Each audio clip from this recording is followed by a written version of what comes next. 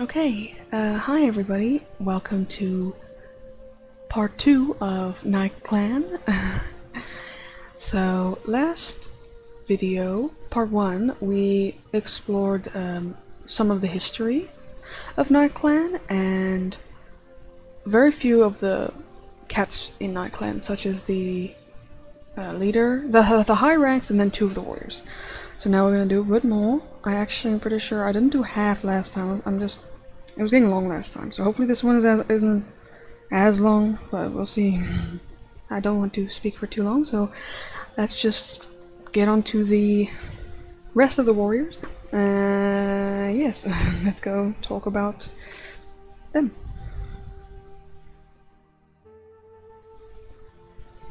So you know in the um, clan generator that everyone was using, for some reason they would always generate black cats. Whoa, just plain black cats. And wouldn't you know, there's a black cat. But did you know that this is the only black cat in this clan? Finally, thank the Lord. So this is um, this is Vine Petal. I like I love his name, very interesting name. And um, he's a very small black tom with flame-colored eyes. Um, he's um, a little bit young and he um, he's a bit unsure of himself, but uh, tries his best. Um, he's a single father, um, and he is uh, newly grieving the loss of his mate, which um, died of just a simple sickness. She, uh, it's not not a big story, big plot. You know, it's just a unfortunate event for this poor boy. but yeah, there's the pretty vine petal, the black cat, quote unquote.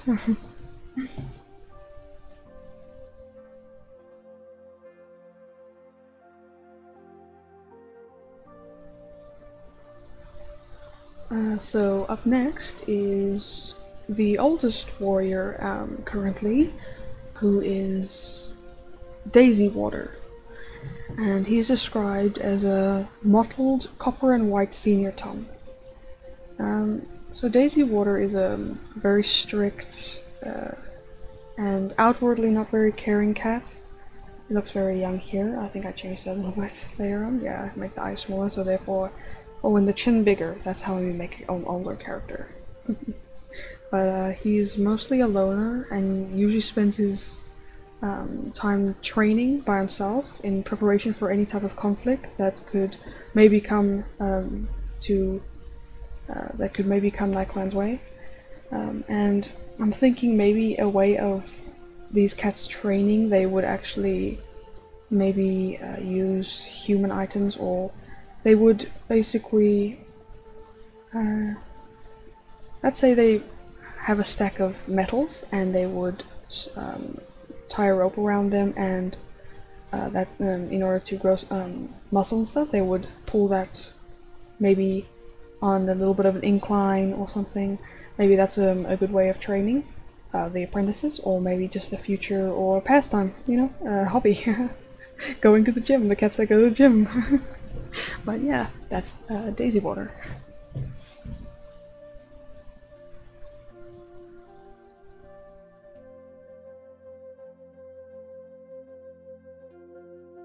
And the first apprentice is uh, Mallard Paw, uh, who is Vine Petal's daughter, the black cat from earlier. and she's described as a cultish red molly.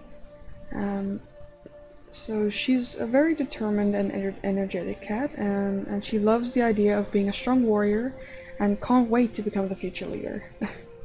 I mean, um, after all, it's clear she's the best option.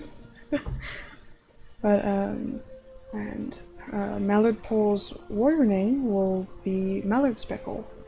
Uh, I really enjoy that the generator adds what their warrior name would be because I'm always, I'm always in, interested to know what the generator would generate them as, warriors or, or uh, higher ranks.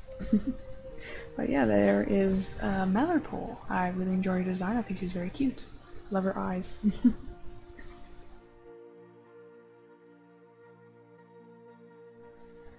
so the next apprentice is named Windpaw, and who is the daughter of Heather Ears and Cranberry Bee.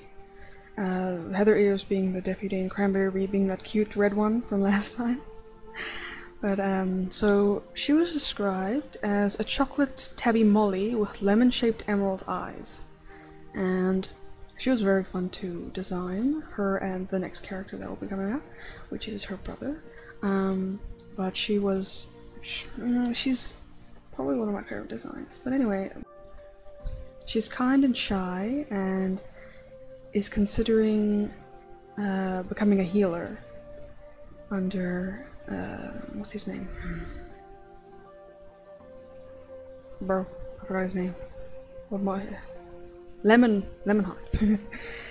but um, and her warrior slash healer name will be uh, Wind Lily, and I think that uh, suits her suits her very much. Uh, beautiful name, I think. but yeah, there is the pretty wind paw. she was so fun to design.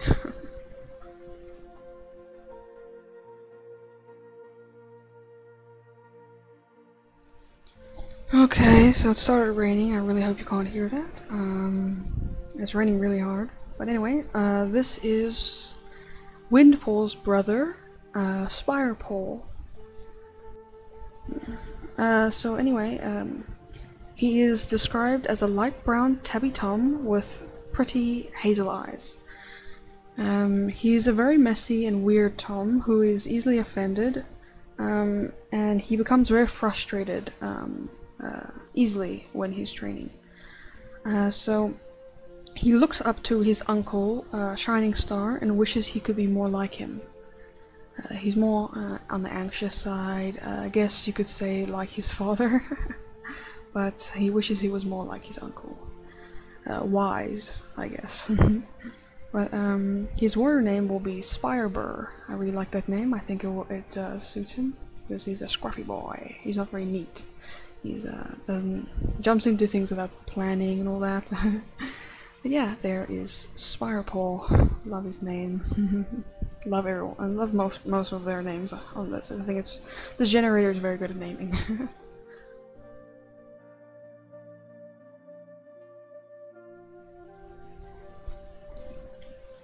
Okay, I'm pretty sure the rain stopped. Thank the Lord. Anyway, next is the nursery.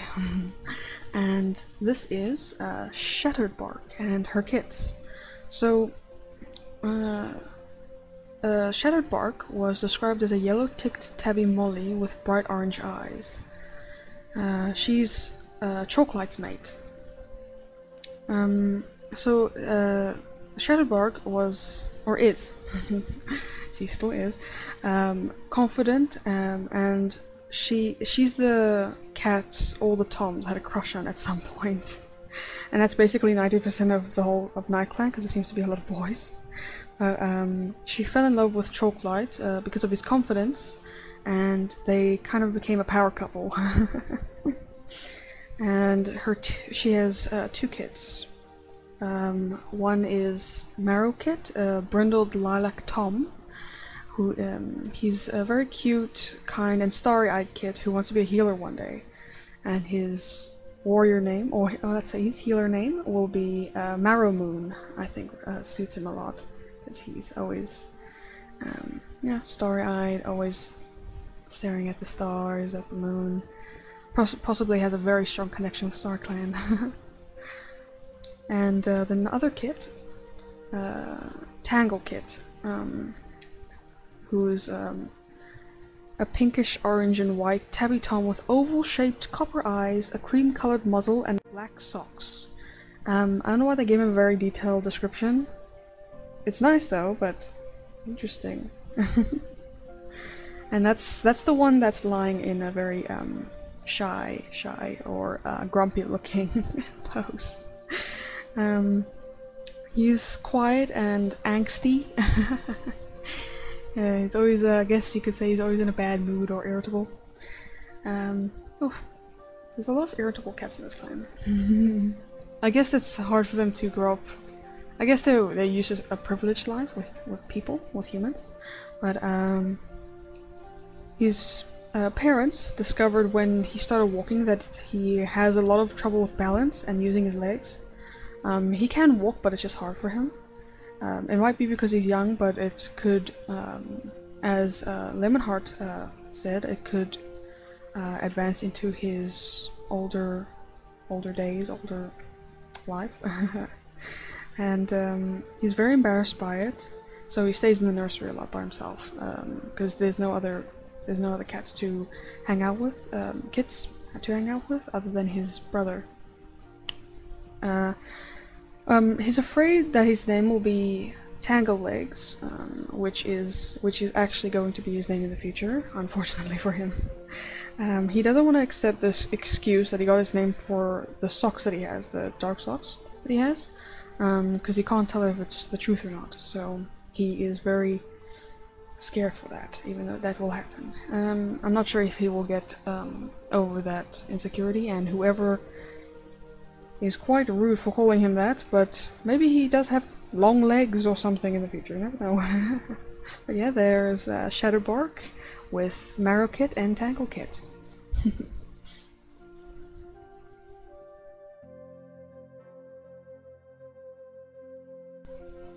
Alright, so we're gonna move on to the uh, Elders now, which uh, I'm pretty sure this is the last uh, uh, rank before we're done. Um, all the elders are gonna be in one image. I think it'll be. Uh, I think it was nice to do that. Um, so the how the hell do I say asphodel? Asphodel. Okay, so uh, so the first uh, cat that uh, what is I'm drawing right now. His name is Woolnose, and he's a speckled black and white tom with a dull pelt and is partially blind and deaf.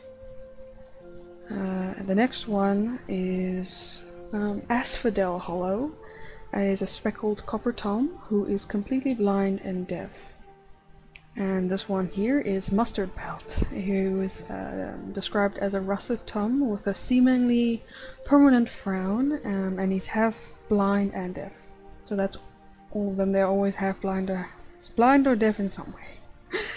Asphodel Hollow, uh, he is, he doesn't, uh, um, he doesn't interact with the other cats much anymore in his old age, only really his daughter, uh, Shadowbark, and her kids to an extent. Um, he lost his sight and hearing over time, but it happened very quickly and he never really got used to it, and he hates it. Uh, the other elders try their best to keep him company, and he won't admit it, but he really appreciates it. so, Woolnose, uh, in, he still has some young spirit in him and likes to tease his friends and generally enjoy his time in his retirement. Um, his mate, Frond Chirp, uh, recently died of weakness and old age, but he tries to keep himself in good spirits. Um, so, Mustard Pelt uh, is Lemonheart's father, as you can probably see by the way he looks. And um, he has a soft and sad sounding voice, uh, but despite that, he is actually a very easygoing and kind Tom. He acts as everyone's grandpa and everyone loves him and can never seem to stay mad at him. one of those likable old characters.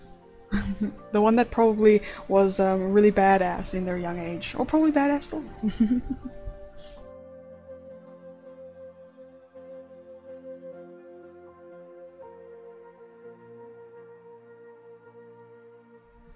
And that is Knight Clan. I hope you enjoyed um, listening about um, listening about the characters as much as I enjoyed creating them. So we were introduced to Vine Petal and Daisy Water, the last remaining warriors, and the apprentices Mallardpaw, Windpaw, and Spiredpaw, the um, Mother uh, Shatteredbark with her kits Marrowkit and Tanglekit, and the Elders Asphodel Hollow, Woolnose, and Mustard Pelt. This this is this was a very good generator. Um, I loved every single one of these characters and making the story. It was definitely more my cup of tea than uh, Cats Live in generically described forest. And um, I enjoyed feeling a sense of character and story from designing these cats, and it flowed so naturally for me. Um, maybe I could even add magic into this world, because medieval is fun, but medieval fantasy? Oh, it's even better. and so, I hope you enjoyed this. Uh, let me know if you'd like more of this um, type of thing in the future, or what you'd like. I would love to hear what you guys would like to see from me, since I'm very new to this still. Um, but yeah, um, again, I'll leave the link to the generator that I used in the description, uh, just like the last video. Um, maybe you should try it as well, and possibly even upload the the process on YouTube or on DeviantArt or Instagram, wherever you may be. But yeah, I will also link my Instagram and my DeviantArt in the description. I will probably be uploading my character designs in the next couple of days. and yeah, so with that, uh, I bid you farewell, and until next time.